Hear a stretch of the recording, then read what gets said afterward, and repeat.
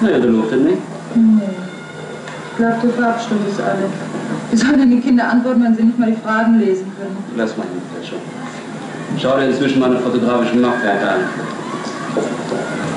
Soll das dein Sohn sein? Ja, sauber hingekriegt, ne? Warte mal ab, was aus dem wird, wenn er erstmal zu uns in die Schule kommt. Es war ein Morgen wie jeder andere auch. Wir Lehrer sammelten unsere sieben Sachen zusammen für den Unterricht und zwischendurch betrachteten wir das Baby von Kollege Spade. Herein, herein. Entschuldigung, bitte, ich suche das Schulbüro. Das ist nächste Tür links. Tür Ja, links. schon, das aber finden können. Bitte. Bitte sehr. Na, der war ja auch nicht gerade aus Berlin. Herein. Grüß Gott. Guten Tag. Wir haben bereits miteinander telefoniert. Obermeier. Ah ja, das weiß ich. Obermeier Senior und Junior. Und wie heißt du? Ja, Franz. Bitte setzen Sie sich. Franz, in welcher Klasse warst du denn? Der Sechste. In einer sechsten. Dann kommst du ja bei uns auch in eine sechste. Ja, geht doch heute aber von. Du kommst in die 6b zu Frau Winter. Haben Sie die Papiere dabei für den Jungen? Bitte schön. Bescheinigung vom Schulamt. Dann kann es ja losgehen. Jetzt gleich? Warum nicht? Kommen Sie, ich stelle Sie der Schulleiterin vor.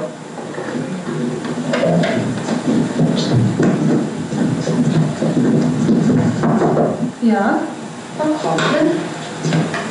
Wir haben hier einen Zugang für unsere 6b. Ach ja, Franz der Franze. Ja, Tag Franz. Tag, Herr Obermeier. Frau. Ja, hast du dich entschlossen, mit deinem Vati zu bleiben? Hm? Und du kommst ja in die sechste Klasse, in die 6b von Frau Winter. Da hast du eine sehr nette Klassenleiterin und eine ganz freundliche Klasse.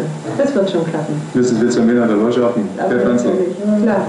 Gut, am besten ist es, ich bringe den Franz gleich nach oben und Sie haben ja noch bei Ulrichsheim Ja, zu tun. Ja? Ja, gut. gut. Wiedersehen. Wiedersehen. Gut, wurde was ist. Charlie, wann bist du fertig? Haben wir's?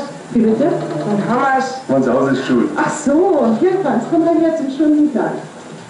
Klasse 6b am Montag 13.20 Uhr, sechs Stunden. Oh nein. Wer liest nochmal den ersten Absatz vor? Gebt zu, das ist nicht so ganz einfach zu lesen, aber wir haben ja ein paar sehr gute Vorleser. Iris?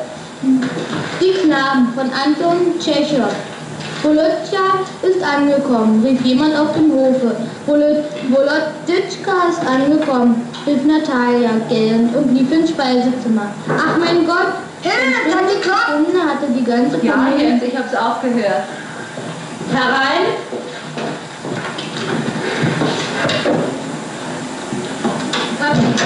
Guten Morgen. Entschuldigt bitte die Störung, aber ich bringe euch einen neuen Mitschüler. Er heißt Franz Obermeier und kommt aus Bayern. Hier, Franz, das ist deine neue Klassenleiterin. Guten Tag, Winter. Herzlich willkommen in der 6b. Ja, wo kannst du denn sitzen? Hier, nur Platz frei. Auf meinen Stoß. Ich denke, ihr werdet schon einen Platz finden für Franz. Also Franz, alles Gute wünsche ich dir. Auf Wiedersehen. Wiedersehen, Frau Winter. Also, dann setz dich mal hier neben Karl-Heinz. Sagst du uns nochmal deinen Namen, damit alle wissen, wie du heißt? Und wie deine neuen Klassenkameraden heißen, das lernst du dann mit der Zeit, ne? Kannst dich setzen. Hans, hier sitzen. Also, wie heißt du? Mensch, bleib sitzen. Karl-Heinz, würdest du bitte den Mund halten? Also, wie heißt du? Mai.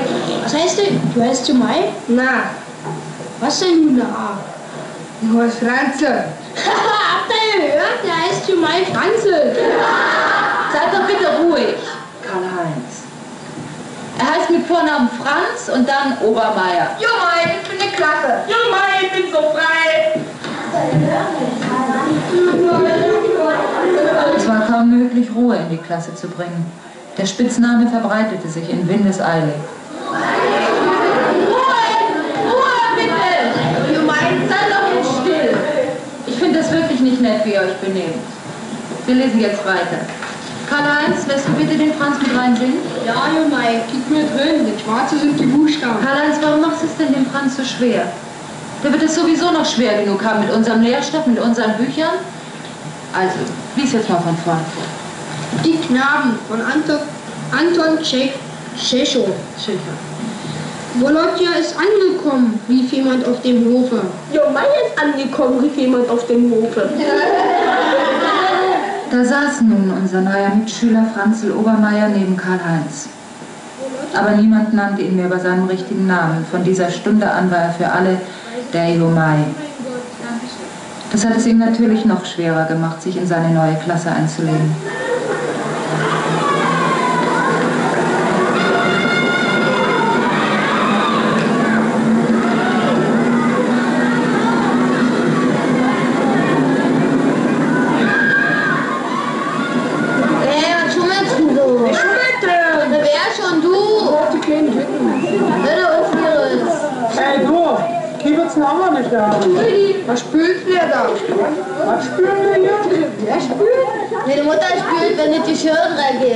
Kannst du dir ein bisschen verständlicher ausdrücken, Mensch? Platz lernt das Gewicht her jetzt. Hört sich an wie Türkisch. Wir müssen die Umlaute. Spiel mal da weiter. Bleib dran. Mama. Ach Mensch, jetzt habe ich nur verloren, weil der hier mal zugekickt hat. Der bringt echt Pech. Spielen wir noch eins? Ja, aber nur wenn der nicht zukickt. Ja. Franzl hätte gerne mitgespielt, aber keiner forderte ihn dazu auf. Und fragen wollte er nicht.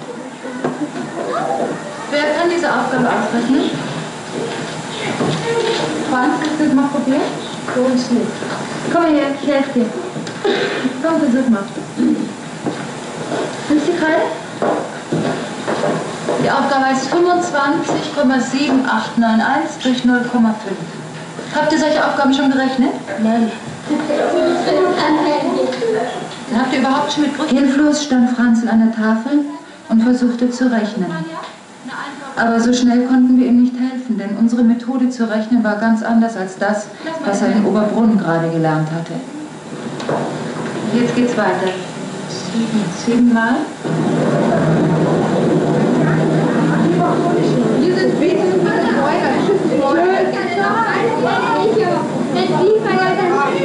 Ja, Franzl, was? Saublöd. Aber warum denn? Was war denn? Nix war. Die weiter Geld wirst du was haben. Nicht früh. Mein Gott, die Berliner reden da andauernd, aber ist nichts zum Sagen haben. Neben mir. Franzl, was? Du darfst nicht zu früh erwarten am Anfang. Ein neuer ist ein neuer. Du ein paar Tage, dann bist du da, Alter. Ja? Bei dir auch. Mai, was machst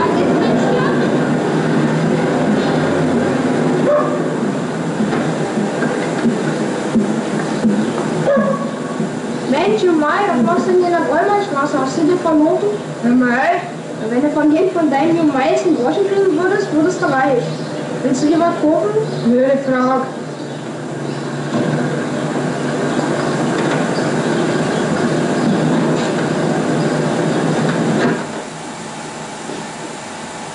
Na, junger Mann, was darf denn sein? Er hat mir gerade gefragt. Wie bitte? Er hat mir gerade gefragt, Mädchen. Ja, dann frag doch endlich. Na, was willst du fragen? Ob sie so Dinger zum Obachten hätten. So das Müllabkleber. Wie bitte? Ob sie so Dinger zum Obachten hätten. Hast mich. Das halte ich im Kopf nicht aus. Wie sprichst du denn? Versuch doch einigermaßen dialektfrei zu sprechen, damit wir ins Geschäft kommen, Kleiner. Leck mir da am Hals.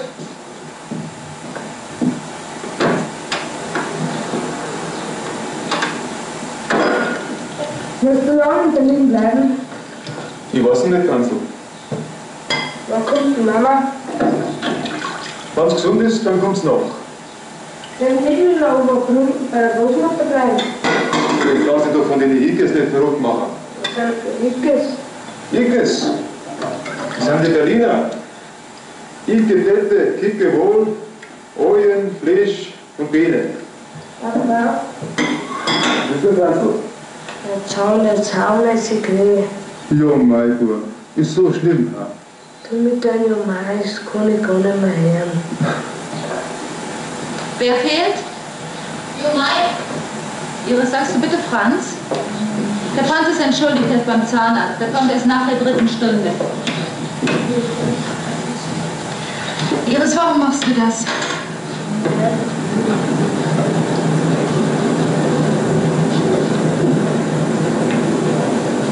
Sag mal, Iris, warum machst du beim Franz eine Ausnahme? Eine extra Wurst? Weil er eine ist, ist doch logisch. Wieso? Das verstehe ich nicht, Fräulein. Weil die, der stellt doch überall auf, wenn er Maul aufmacht. Original Oberbrunn und Umgebung. Ja, und ihr seid original Charlottenburg und Umgebung. Wo ist denn da der Unterschied? Also ich sehe das nicht. Ihr fühlt euch nur so stark, weil ihr hier in der Mehrheit seid. Hm? Finde ich ziemlich schwach. Holt ihr bitte die Übungshefte raus?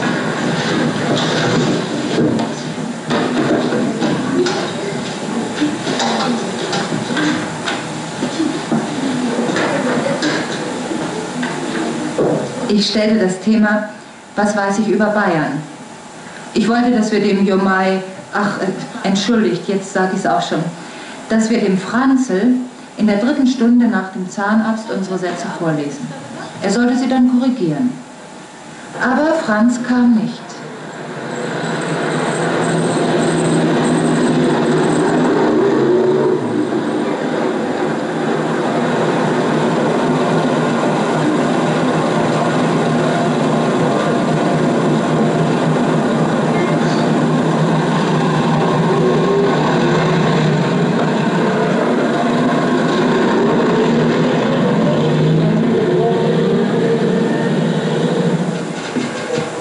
Tag, Frau Hitzmann.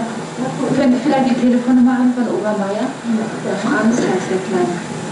Was ist denn mit unserem kleinen Bayern? Nicht zur Schule gekommen. Wollte bis zur dritten Stunde da sein, ist nicht gekommen.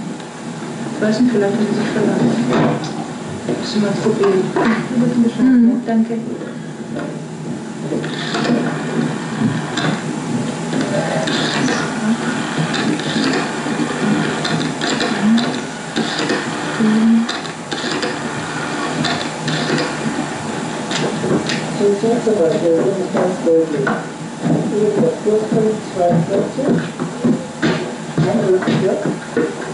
Obermeier?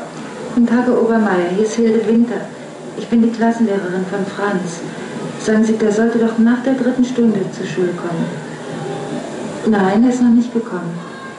Glauben Sie, er ist vielleicht nach Hause gegangen? Aber bitte, rufen Sie vielleicht beim Zahnarzt an? Ja? Sagen Sie mir dann Bescheid. Rufen Sie gleich in der Schule wieder an. Dankeschön. Wiederhören, Herr Obermeier. Hm?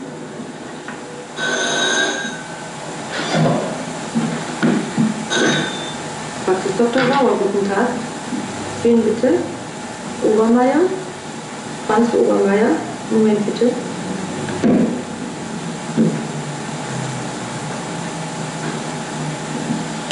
Herr Obermeier? Nee, tut mir leid, der Kleine ist noch nicht hier gewesen. Bitte, wiederhören. Mit der Schule mitteilen. Guten Tag, Herr Obermeier. Moment, ich gehe Ihnen. Ja, Herr Obermeier? Ja? Der ist gar nicht beim Zahnarzt gewesen? Und zu Hause ist er auch nicht? Mhm. Ist das schon öfter passiert, dass er nicht zur Schule gekommen ist? Ja. Ja, Herr Obermeier, ich glaube, da müssen Sie die Polizei anrufen. Ich versuche mal hier mit den Kindern ihn zu finden. Wer irgendwo in der Gegend, vielleicht wird er sich verlaufen. Sie brauchen sich nicht gleich so aufzuregen. Vielleicht ist es gar nicht so schlimm. Ja? Gut, auf Wiedersehen. Wiedersehen, Herr Obermeier. Hat Ihr Sohn eventuell verlauten lassen, dass er vorher noch einen Freund aufsuchen möchte? Hm. Vielleicht hat er auch rein zufällig noch jemanden getroffen. So, dann möchte ich Sie bitten, äh, suchen Sie doch noch einmal intensiv die Gegend ab. Sollte sich dann nichts ergeben, rufen Sie uns noch einmal an, dass wir eine Vermisstenanzeige aufnehmen können. Wiederhören.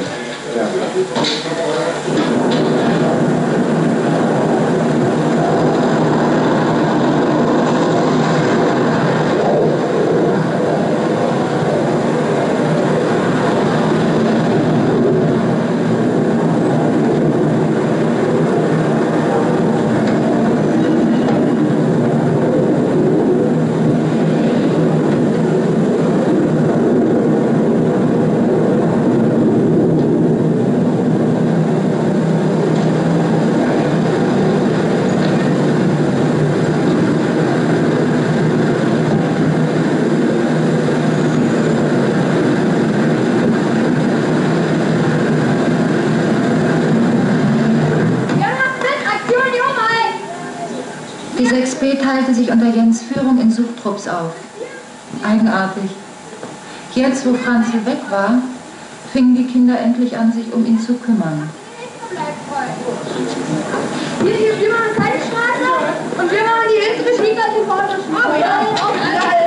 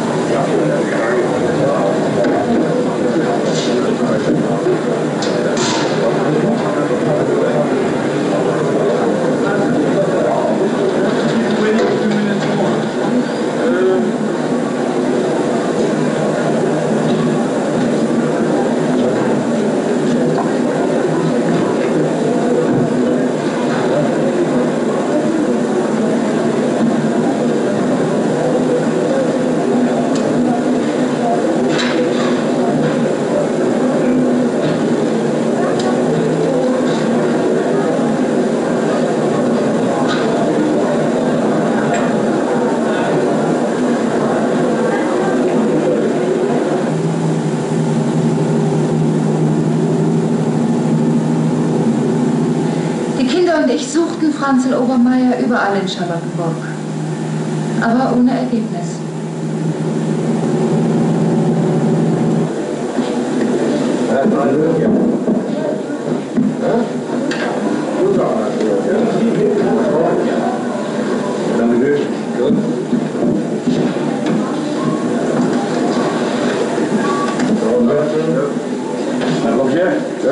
Auto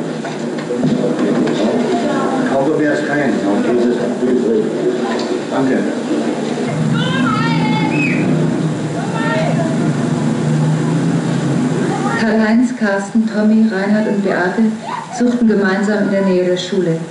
Sie ließen keinen Winkel aus. Die Suche blieb ohne Ergebnis. Aber etwas Gutes hatte die Sache doch. Die Kinder fingen an, Verständnis für Franzl zu haben.